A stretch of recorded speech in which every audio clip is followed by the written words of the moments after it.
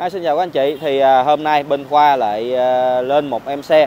Phải nói là cái mẫu xe này rất là tiện dụng nha anh chị ha. Vì sao? Vì là nó là bản à, chạy xăng và điện. Đó là mẫu Toyota Cross bản à, hybrid nha các anh chị ha.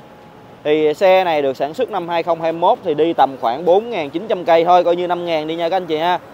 Có màu ngoại thất là màu đỏ phải nói là cái màu khá là sáng và sẽ đẹp luôn nha các anh chị ha à, thì cái giá xăng anh chị thì hiện nay nó cũng hơi khá bất ổn. Thì à, nó cứ lên xuống lên xuống thường xuyên thì nó tầm khoảng hai mươi mấy ngàn một lít. À, và kinh tế bây giờ thì khoa cũng phải nói thật chia sẻ thật lòng là nó cũng không có ổn định lắm.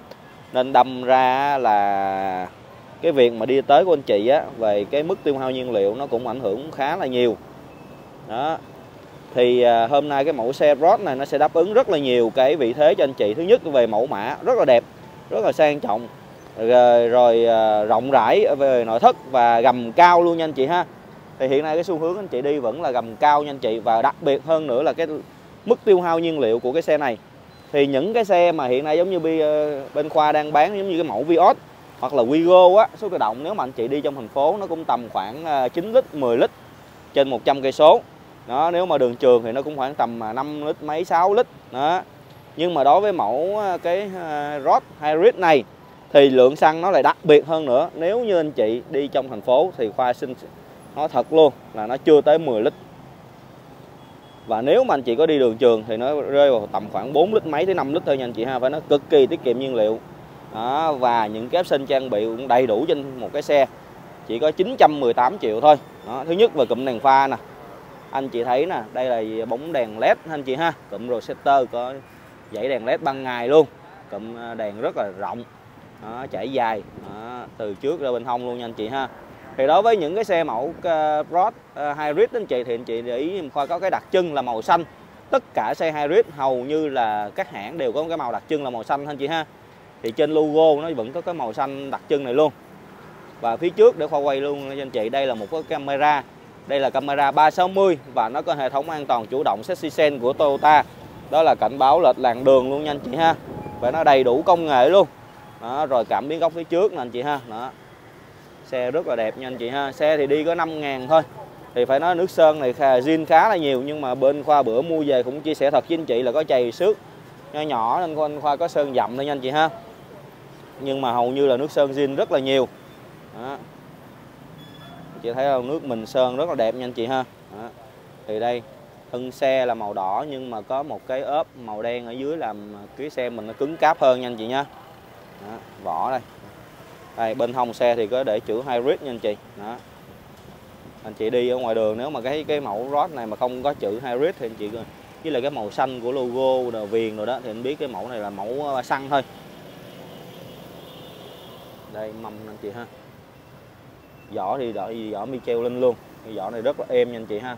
Tuy là gai dày nhưng rất là êm, mâm 18 rất là to, rất là khỏe luôn. Đó xe thì có camera 360 đó, rồi hệ thống an toàn chủ động safety sen cảnh báo lịch làn đường đầy đủ.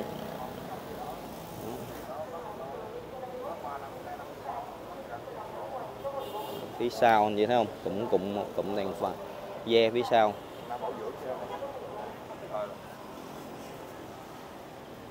Giới thiệu một cái điểm nổi bật anh chị thấy là có cái viền à, mạ rơm trên chân kính anh chị ha. Đó nó chảy dài từ phía trước xuống phía sau luôn đó, rồi phía sau ở đây nè anh chị. Đó thì à, nó có một cái dãy ốp màu xanh và ghi là rod Corolla Rod anh chị ha. Thì đây là phát triển uh, dựa trên động cơ là Atis Corolla Atis anh chị.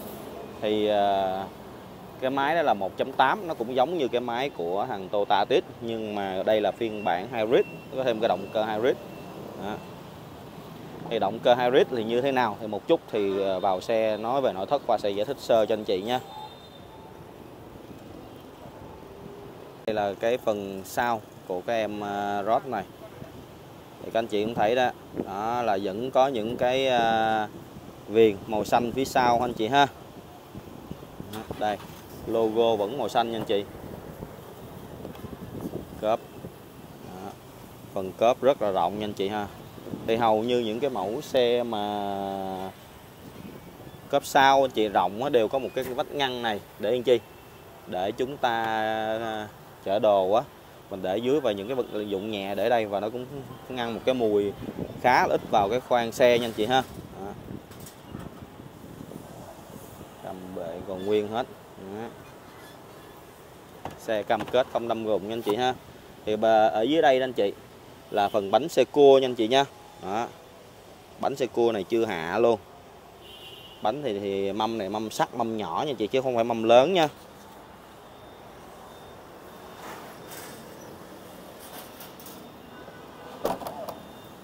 đây gầm anh chị.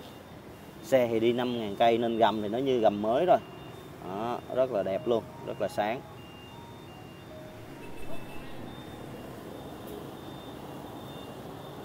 Rồi bây giờ chúng ta hãy đi vào khoang nội thất nha anh chị ha.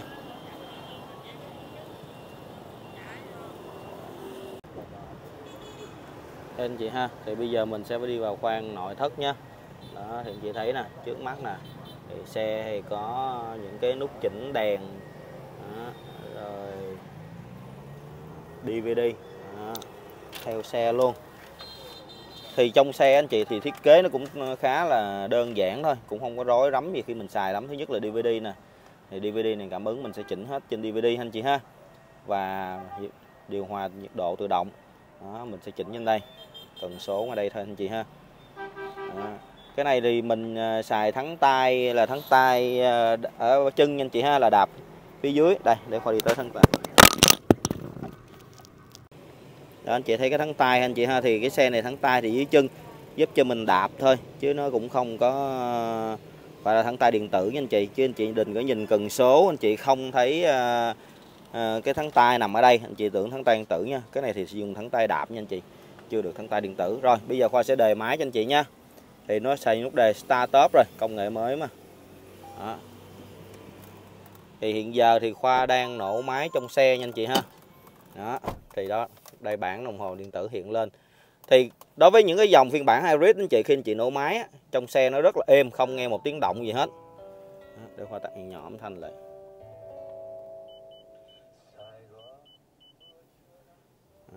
Thì đó, thì anh chị nhìn nè, đây là bảng đồng hồ. Anh chị nếu mà anh chị ngồi trong xe như khoa hồi xưa khoa nổ máy lần đầu khoa cứ nghĩ nó là chưa nổ máy anh chị nhưng thực tế đang nổ.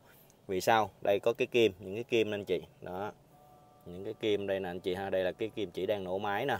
Khi mà anh chị chạy anh chị để dùm khoa cái màu xanh lá trong đây nè, cái kim này á, nó sẽ nếu mà anh chị chạy khoảng dưới 50 cây số trên giờ, thậm chí là nếu mà anh chị chạy riu riu riu lên khoảng 55 60 cây số trên giờ thì cái kim này nó vẫn nằm trong một cái vạch màu xanh lá nè. Đó. Thì đây là gì? Và cái hiện lên nè anh chị. Và cái chữ EV nè. Đó, anh chị thấy dùm khoa nè. Đó bây giờ tắt EV rồi thì máy động cơ đang nổ mạnh lên. Thì có nghĩa là đang chạy qua xăng anh chị ha. Đó tại nãy giờ nổ máy điện nó hết anh chị nên đâm ra là động cơ nó chuyển qua xăng. Thì nó sẽ mất cái chữ EV đó đi. Và khi anh chị chạy á thì nó một chút xíu nó sẽ đủ cái lượng à, nạp là cái hybrid thì cái à, tự động nó sẽ chuyển qua điện lại thì lúc đó thì nó sẽ hiện lên chữ EV là đang xài điện rồi thì khi mà hiện chữ đó lên thì cái máy rất là êm nha anh chị ha đó bây giờ là đang nổ đang nổ máy nha anh chị đang chạy bằng xăng đó. không biết chị có nghe tiếng không chứ bắt đầu máy nó có hơi cái, cái tiếng à, nổ nhẹ rồi đó. da thì màu nội thất là màu da bò rất là đẹp nha anh chị nha đó thì phải nói đây nè anh chị. Đó, thì đây thì cũng có những chút chỉnh nè giống như điện nè. Nó rồi cân bằng điện tử nè. Đó. khi mà khoa bấm cái nút đó thì nó sẽ báo lên nè anh chị thấy không? Là bình đang yếu nên nó không cho mình chạy điện. Đó thì khoa bấm lại một lần nữa cho anh chị để nó hiện lên nha. Đó nên đâm ra khi mà nó nổ máy và nó chạy nó sạc đủ cái bình hybrid rồi đó thì nó sẽ tự động nó sẽ chạy nó chuyển qua hệ thống điện anh chị ha giúp cho mình chạy xe nó tiết kiệm điện hơn. Đó. Xăng, lượng xăng lúc đó nó sẽ không xài nữa, phải nó quên. Rồi, anh chị ha, thì đó, nãy giờ khoa không giải thích về cái động cơ hybrid. Rồi đây thôi cũng kinh nói xem đây là ghế lái chỉnh điện anh chị nhé rồi, bây giờ mình tới tới băng sau. Nãy qua băng trước rồi, băng giờ băng sau nè.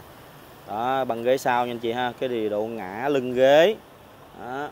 rồi à, phía sau nó cũng có cái học gió để cho mình à, mát phía sau xe này thì có cửa sổ trời nha anh chị ha. Đó, cửa sổ trời phía trên. Và à, phần trần thì trần là trần màu đen nha anh chị.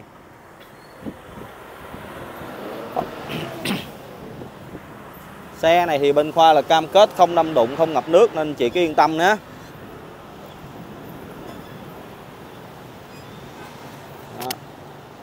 Rồi, thì khoa đang nổ máy luôn. Bây giờ sẽ dỡ động cơ lên cho anh chị tham khảo cái máy động cơ hybrid nha anh chị nhé đây anh chị ha thì khoa đang nợ, ờ, mở động cabo rồi nhưng mà bây giờ anh chị thì nó đã chuyển qua sau khi mà nạp ờ, được tí pin thì nó đã chuyển qua lại động cơ điện rồi. Anh đâm ra là cái phần mà nổ máy anh chị. Phải nói là giống như không nổ nha anh chị ha. Đây đây là một cái động cơ của cái mẫu rod hybrid thì anh chị thấy nè. Đó. Không hề có một cái rung lắc nhẹ luôn nha anh chị ha. Khoa để cái tay trên cái cái động cơ nè anh chị để ý giùm khoa là không cái máy nó không có rung luôn. Vì sao? Vì bốn cái xi lanh bốn cái bít tông nằm ở đây. Nó những cái bít tông nó nằm ở đây thì khi mà cái máy nó nổ nó hoạt động thì nó mới rung nó có độ rung. Còn bây giờ đang chạy bằng điện anh chị ha nên đâm ra cái máy nó nằm im và không có một tiếng động gì hết. Và đây là chính là cái linh hồn là cái bộ phận uh, chữ điện cái bộ phận phát điện nằm ở đây anh chị ha. Đó thì à, những cái xe mẫu, đối với những cái xe mẫu hybrid này, anh chị, thì bên khoa khuyến cáo luôn, nếu mà mình không có rành, mình đừng nên rửa xe cái khoang máy động cơ nha anh chị ha. Đó, vì sao? Vì nó rất là quan trọng tới về cục pin nè, dây điện nè, đó. Ví dụ như anh chị muốn rửa động cơ tới Toyota Tân Cảng Bên Khoa, có gói làm đẹp, thì nếu mà rửa động cơ nó tầm khoảng 1 triệu 2 nó rửa, bên khoa sẽ rửa cho anh chị cái máy rất là sạch, rất là đẹp và an toàn mình nữa về bảo đảm kỹ thuật luôn nha anh chị ha. Đó. rồi xe đây. Không đâm đụng đó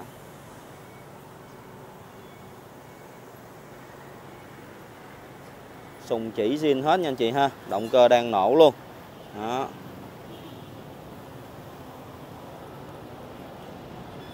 Rồi thì thôi thì Khoa cũng xin kết thúc cái video tại đây. Thì Khoa xin nhắc lại đây là mẫu Toyota Road Hybrid. À, Xe đăng ký vào cuối năm 2021 Xe chạy được khoảng 5.000 cây số rồi. Thì tại Toyota Tân Cảng bên mình đang rao bán với mức giá là 918 triệu cho mẫu xe Road này. Anh chị nào mà có nhu cầu quan tâm, hãy lên Toyota Tân Cảng bên mình xem xe thực tế nha anh chị ha. Giá sẽ có ưu đãi thương lượng cho các anh chị. Và xin cảm ơn các anh chị theo dõi Châu Khoa từ nãy giờ